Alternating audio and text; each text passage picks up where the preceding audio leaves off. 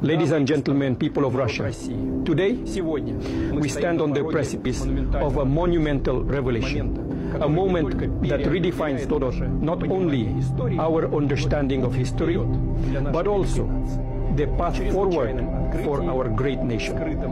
In an extraordinary discovery hidden beneath centuries of lore and legend, we have opened what can only be described as the oldest vault known to mankind.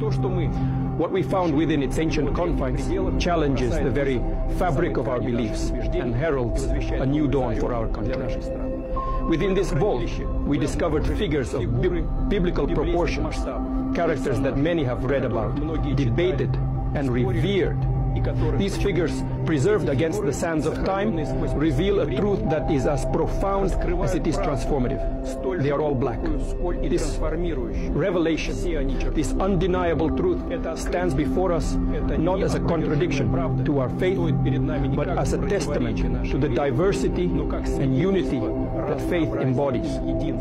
As your president, I see this moment not as a challenge to our beliefs, but as an opportunity to embrace a wider, more inclusive understanding of our history and spirituality. Russia, in its rich tapestry of cultures, traditions, and people, is uniquely positioned to lead the world into this new... Today, Vladimir Putin reveals to the world a secret that European has been hiding from African for more than a millennium that Jesus was black.